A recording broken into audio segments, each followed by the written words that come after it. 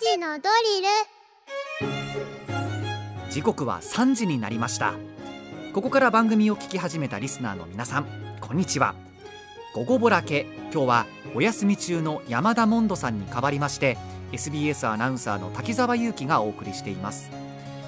ここからは深く知るともっと面白い静岡トピックスを紐解いていく勉強の時間3時のドリルです。毎日午後3時に一緒に学んでいきましょう。今日の先生はこの方。静岡新聞運動部専任部長の寺田拓馬さんです。よろしくお願いします。お願いいたします。では早速ですが今日取り上げる静岡トピックスはこちら。サッカー J リーグ2部の藤枝舞 FC が12位で今季を終えました超攻撃的エンターテインメントサッカーを掲げる須藤監督のもとチームが結束。困難を乗り越え難しいとされる初昇格1年目で残留を果たしました。今日は今季の戦いの軌跡を振り返ります。あの寺田さんといえば私、えー、ねスポーツの現場でよくお見かけすることがありますけれども、はいね。うん、今シーズンは藤枝舞 FC の番記者。そうですね。1年間わそうですよね、えー、いや多分今シーズンって、まあ、J2 での初めてのシーズンじゃないですか、うん。はい、めちゃくちゃこうなんていうんですかね取材しがいがあったと思うんですけれども、うん、そうですね。改めて、まあ、どんなチームというか、いうふうに捉えていますか？そうですね、まあ本当にこれはですねすごい興味深いチームであるし、なんというか皆さん知ってもらいたいチームなので、うん、まあ、これまでもですねこのコーナーでちょくちょく取り上げてはきたんですが、はいはい、まあ、こういうことで、ね、シーズン終わったもんですから、うん、今日ちょっとがっつり前吉の話をさせていただきたいお願いします。私も知りたいです。はい。ねえ。えー、まあ藤枝舞 FC といえば今シーズン12位で終えたチームですけれども、うんはい、まあやっぱり私の個人の感覚でいうと、監督の存在感っていうのはすごく大きいのかなと思っていたんですけれども、そうですね、須藤監督、はい、どんな監督ですか？そうですね、まあ、本当に大変情熱持たれている方で、はい、なおかつですねこう理論的にもですねしっかりあって、まあ、自分の言葉で選手を鼓舞しながらチームを引っ張っていけるそういう監督だと思います。えー、やっぱりあの J2 での初めてのシーズンを12位で終えたっていうのは、うん、これはお見事というか、まあ、よく頑張ったっていうふうに言っていい結果ですよね。大健闘だと思いますけどもね、はい、まあ、チームはプレーオフ6位以内を目指していたまあそうですよね、ねそこは悔しさはあると思いますけれども、ね。まあ、悔しいと言ってましたが、はい、まあ客観的に見ればですね大健闘と言えると思います、うん、シーズン見てみてチームの雰囲気改めていかがでしたか、うんそうですね、まあ、これはですね結構波があってですね、まあ、今日ちょっとこれからそういう話をさせていただこうと思うんですが、まあ、最初開幕良かったんですけどもこう波もあったりしてですね、うん、えー、まあ大変ななかなか面白いシーズンだったんですけども、はい、まあ、ちょっとさらっていくとですね、まあ、J2 今季まあ県内3チームありまして、うんええ、まあ、静岡三決戦。そうですね、ええ。まあ、磐田清水と繰り広げてですね、ええ。まあ、最終節で逆転になって2位に滑り込んだのが磐田。そうですね、ええ。まあ、これ武田さんもね磐田の方にはいやそうですね。よくあの DAZN のリポートなどで伺っていました。えー、はい、ということで、まあ、岩田はすでに、まあ、1年高学から1年での J1 復帰を決めたんですけども、うん、まあ、先ほどちょっとレギュレーション説明させていただくとお願いします、はい。まあ、今季 J2 から J1 に上がるのは3チーム上がれるんですね。うん、はい、で上位2チームこれも決まっていまして自動昇格。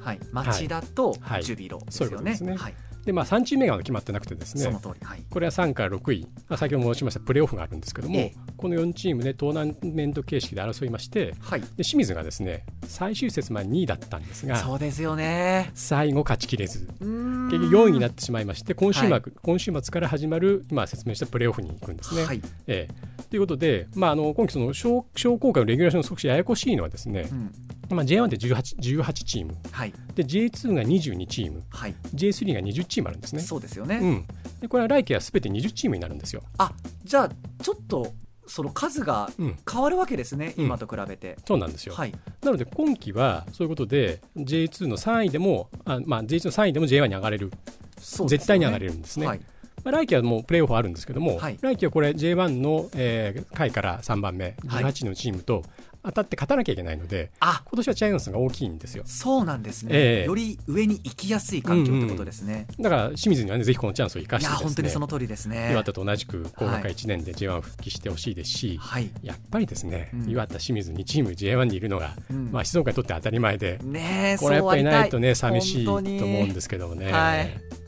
でまたですねその J2 と J3 の入れ替え戦なんですが、はい、これは例年通り J2 の下位2チームと J3 の上位2チーム、これは自動的に昇降格する、はい、そうですね。でね、はい、でまあ、藤枝については、まあ、去年は J3 で3位あ J3 で2位だったんですね、えー、2位で昇格を果たしたということなんですよ。はいうん、えーでまあ、さてですねその藤枝の J2 初年度の成績について、はい、シーズン前の予想はどうだったかということなんですけども、はい、はい、お願いします、えー、ちょネット上でですねあのサッカーの解説者とか、うん、サッカーの専門誌雑誌、うん、戦前まめまとめたページがあったんですけども14人の方、はい、あの予想したんですが、はい、藤枝の予想ってどれぐらいだったと思いますかえー、いやどうでしょうね。まあ勢いのあるチームっていうところは、うん確かにあると思うんですがやっぱりねその初めてのシーズンなので独特の緊張感もあると思うのでまあ、10位前後とかの予想どうですかね、なんですかね、まあ、県内ですね、ひいき目に見てもそれぐらい。に行きたいところなんですが、実際はですね14人中11人は藤枝は21位か22位、えー、つまり10中8区 JS に降格するそういうことですよね、えー、そんなに厳しかったんですね、事前の評価、えー。まあ、ちなみにですね、はい、優勝予想で一番多かったのは、はい、10人が押した清水。あそうだったんですか。で岩田の昇格を当てたのは、まあ、14人中6人だったんですよ。あまあでもまあまあ人数はいますね。うん、まあ、岩田もね、はい、補強禁止とかっていうそういうそうですよね、こともありましたからね、はい。えー、それでも6人の方が昇格を予想してくださったっていうことはまあありがたいですよね。そうですね、うん、まあ、でもねこの予想、まあ、無理もないところありまして、はい、まあ、J1、J2、J3 比べるとですね、はい、やっぱ選手の個々の力って歴然とした差があるんですよ。そうですよね、えーはい。まあ、当然ながら能力高い選手上のカテゴリーでプレーしてますので、えー、藤枝はまあ去年ねその前のシーズン J3 で戦った主力選手をベースに今季開幕に臨んだので、まあ、しょうがないってところがあるんですね。はい、ただ松木安太郎さんはですね9位って予想したんですよ。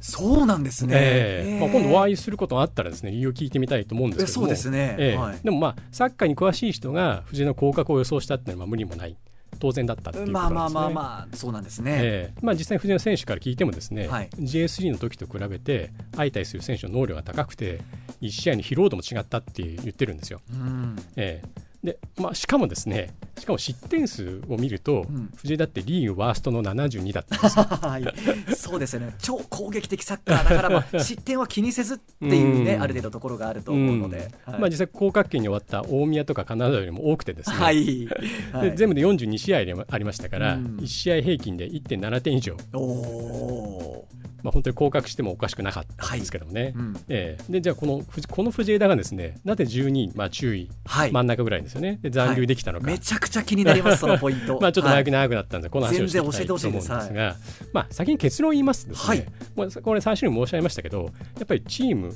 クラブサポーターの一体感。一体感、うん。えー、まあ言っちゃえばこれに尽きるところだと思うんですけども、まあ、超攻撃的エンターテエンターテインメントサッカーっていう須藤監督の理想のもとで、えーみんなが同じ方向を向いてですね信頼感信頼感があった。これがですねやっぱり一番だと思うんですね。で本当ですねシーズン途中にはですね空中分裂分解仕掛けた時期があったんですけどもそうなんですね、はい、あったんですがこの信頼関係は崩れなかったええーってことはこの結果につながったと思うんですね。やっぱりそこの部分なんですね。相手を信じられるか。そうですね。ここですね。まあここはサッカーの面白さで、えー、個々の選手の能力を単純に足して高い方が必ずしも勝つってことじゃないんです、はいはいはいはい。やっぱり1たす1が2にも3にもなるっていうところが面白さなんですよね。はい、その藤枝の信頼関係がまあ苦しい時期もあったじゃないですか、うん、勝てないどうしよう、はい。はい、崩れなかったのはなぜなんです。か、はい。まあ、これはですね、まあ J まあ、去年から戦ってくるってありますし、はい、今申し上げたように、まあ、選手だけじゃなくて、まあ、クラブフロントとかですね、はい、スタッフ、はい、このみんな本当に一体感があるっていうこれはあると思うんですよね。みんなを巻き込んで一つの輪になってるから、すごく信頼関係が固いんですね、うん、そうですね、えー、でまああのざっと振り返るとですね今季の戦いを、えー、まあ、開幕は2連勝したんですよ、えー、で4月には3連勝もあって、はい、ゴールデンウィークまでの12試合やると6位でプレーオフ圏にいたんですよ。そうですよね、序盤調子良かった気がします。そうなんですよ、はい、実際にプレーオフ圏っていう目標っていうのもこの子はなんか現実的にだったんですよね、えーでこれまでの、まあ、さっきからの去年からですね同じスタイルを継続してきたので、まあ、戦術の成熟度っていうんですか、うん、まあ、今からもうずっと申し上げているようにチームの一体感もそういうのもうすでに出来上がっていたのでこれは結果につながっていたと,、うん。えー、と思うんですけども、まあ、しかしあの先ほども話した通りですねあの J2 の選手の個々のレベルまたチームのレベル高くてですね、まあ、戦い方を研究されて弱点を使われると勝てなくなってきたんですよね。えー、でまあ藤原の強みっていうのは、まあ、前線からボールうまいくハイプレス。そうですよね、えーはい、でキーパーも含めて最終ラインからボールをつないでいく攻撃を組み立てるビルドアップだったんですが、はい、ハイプレスがはまんなくなってきてですね、で体力を疲弊してビルドアップのミスを狙われて失点する。こういうケースが目立ってきちゃったんですね。で5月中旬のアウェー清水戦、はい、スタでやりましたが、いやそうですね、えー、これ0対5。ねちょっとあの記憶に新しいですね。うん、で、まあ、前半で4失点しちゃったんですよ。そうですよね。試合壊れちゃいまして、うん、まあ、こういうですね前半の早い時間で先制点を許し立て直せず立て続けに失点、まあ、こういう試合ですね。清水戦以外にもあってですね、はい。えーまあ、それでも得点を取り返取られたら取り返す、うん、まあ、こういう攻撃的スタイルを保って首位を保っていたんですが、はい、夏の移籍間この7月にですねチームに激震が走ったんです、ね、これ驚きましたね。これは驚きました、えーまあ、チームの得点王だったフォワードの渡辺選手からアシスト王だった、えー、ミッドフィルダーの久保選手。まあ、それを J1 のセレッソ大阪と名古屋にシーズン途中であの引き抜かれた移籍しちゃったんですね。これは本当にもう絶対的エースの渡辺選手それからまあ久保選手、うんうんえーってこれ本当にもう驚きました。そうですよね、まあ、はい、プロの世界の定めでしょうがないんですけどそうですよね、まあ、こう引き抜かれてしまってですね、うんはい、でさらに5月には首相で攻守の要だったミッドフィルダーの杉田選手、そうですね、もう今季絶望の怪我で長期離脱。えー、だから将棋でいうとこの飛車角に金も書くような。大きい。本当に大きい、うん。はい、で7月からは8戦勝ちなし4連敗一度どん底まで落ちたんですね。そうですよね。でこの時は17位まで順位も落ちちゃって、はい、まあ、自動降格圏とは勝ち点5の差。あ迫ってきてる、はい、うんだ残留争いがちらついたんですね、えー、えー、まあ勝ち点ってね1試合勝つと3点なので、はい、まあ、2試合でひっくり返されてしまうというところまでいったんですよね。でこの窮地からどうやって脱出したのか、はい、ここなんですけども、まあ、理由の一つが、まあ、チーム内の競争力を高めたんですね。で新戦力を融合したことなんですけども、うん、でまあ、そのフォワードの渡辺ミッドフィルダー久保が抜けた後夏の表で素早く5人の選手獲得したんですね。はい。ええ。しかしその説明してきているように、うん、戦術って独特でしてシーズン途中であの加入した選手はですねすぐ馴染めるわけじゃなくてうん、それでもその8月下旬のホームで開催予定だった群馬戦で新加入5人中4人スタメンに入れたんですよ。ほう。ねしかしですねこれ結果的に幸運だったんですけども、はい、この試合直前雷雨が降りまして、はい、この試合中止になっちゃったんですね。ええ、で翌日ね同じメンバーで紅白戦やったらですね、うん、連携がバラバラで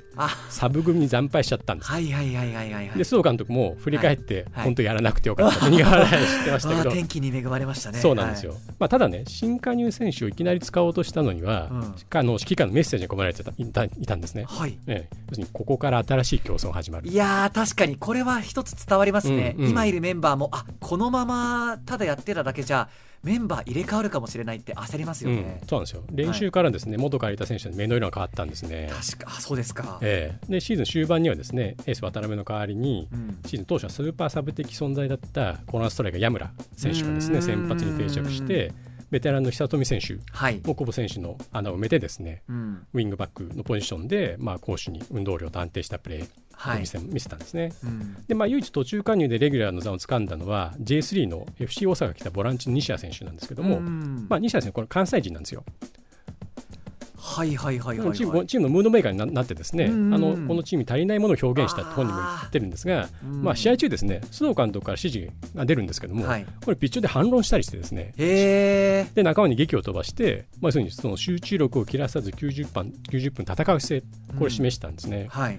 でこれ結局ですねその最終節のスタメンがあるんですけど、はい、これ開幕戦と比べてですね、うん、11人中7人入れ替わってたんですよ。えー。まあ、こんなに変わることも珍しいと思うんですけども、ね、まあ、須藤さん自身もですね常々開幕のメンバーがそのままレギュラーではチームの成長はないって言ってたので、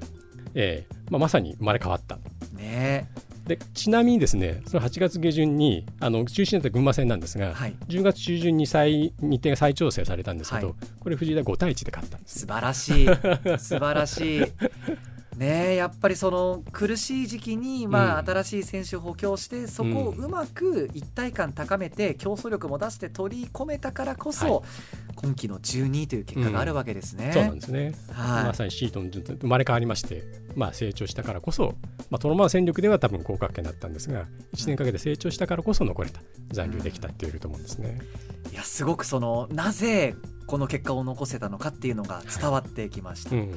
ただまあ残留を決めた理由はまだあるということで続きは来週もお話しいただけるということで、はい、こちらもたっぷりまた来週お話しさせていただきます、はい、お忙しいところすいませんがまたよろしくお願いします。はい、えここまで寺田拓馬さんとお送りしました。ありがとうございました。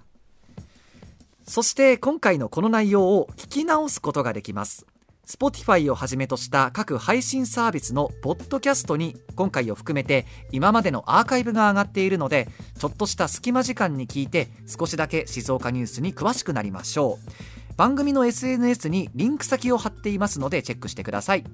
今日の勉強はこれでおしまい。